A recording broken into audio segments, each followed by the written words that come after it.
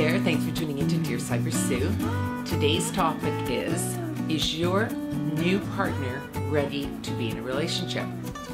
Now, this is a good question because a lot of people venture into relationships thinking they're ready for something, but they're not necessarily in the mode of wanting to be in a committed scenario. If you want to find out where you fit with your partner, sometimes you need to directly ask the question really early on What are you looking for? What is important to you? Do you want a committed relationship that eventually leads to marriage, kids, whatever it is you're looking for?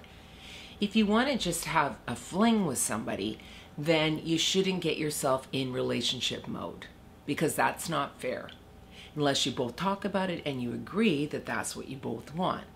But that's more of a friends with benefits situation. And that's something that also needs to be very clear up front. We've all heard the stories about people who end up in these long relationships, but the, their partner is never fully committed. They like being with with you, they like hanging around, but they don't want anything further down the road. And this is why you need to set the pace, you need to talk about all these things really early. Because the last thing you want to be is another statistic where you're in these long term relationships that don't go anywhere.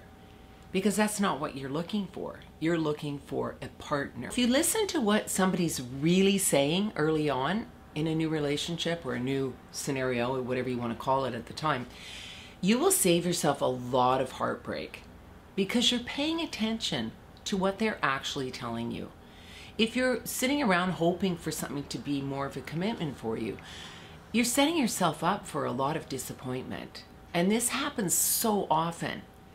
Listen to what somebody says. If they tell you they're not ready to be in a relationship, you need to hear them. You need to listen to what they're saying. Quite often, we want to make uh, this person that we're really attracted to fit into our life. We want them to just be that that bond that we're looking for. But if this is a continual practice and you keep trying to make people fit into what you're looking for, it's just a disaster waiting to happen. You want somebody that you have a lot of things in common with and who want the same things. You shouldn't actually have to ask the question whether they're committed, want a commitment or not. You should both have already talked about this before you end up in a in a relationship or the start of a relationship. So often we try to make things fit because we're ready. One of us is ready.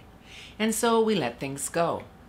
We might be less judgmental, less picky than we usually are because we just want things to flow. We want to make this work so that we can have a committed relationship with somebody.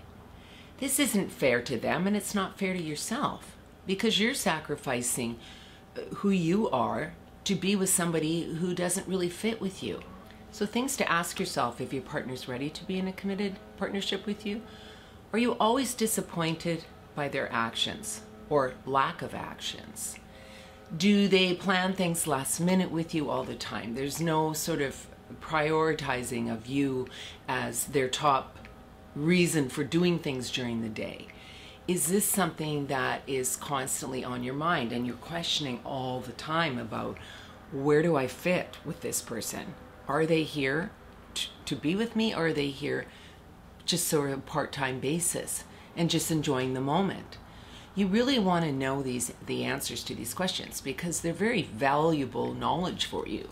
This is something that you're setting yourself up for having a life with somebody and if they're not on the same page as you, it's just going to cause more more problems and then you're going to start not trusting yourself if you learn how to discuss all these things very early on, you're going to have a lot less disappointment, a lot less questions, and you're going to know where your relationship is headed. This is extremely important. Another test is do you find that you're always defending yourself or yourself about your partner? Because people have seen things and they've made comments and you defend them because you know, no, no, it's not like that at all. So you're constantly having to sort of speak up for them because what's not happening in your relationship. If there's too much doubt and you're always sort of wondering about things with them and hoping they're going to get better, it's probably not the right fit for you. If you've come to this video trying to figure out where your relationship stands, then you've probably figured out that maybe maybe it's not where you want it to be. And that's okay.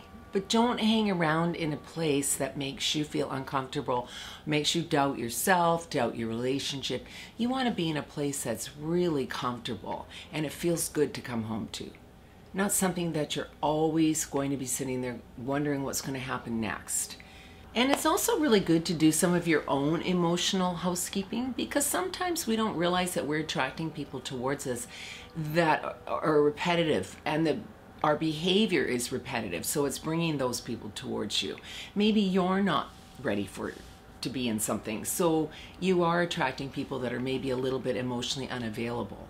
And this is something you have to figure out about yourself because it's not always the other person if you are having anything repetitive in your life that's causing you you know hurt or heartbreak or anything along those lines you want to get to the bottom of it and figure out what's happening.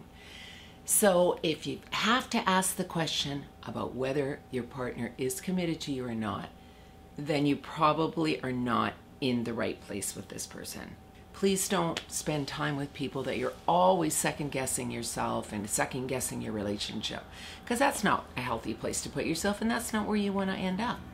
You want to know that the person that you're with is the right person. Thank you so much for tuning into Dear Sybersue today. Please subscribe if you haven't already done so. Leave any comments you have. I always answer you back.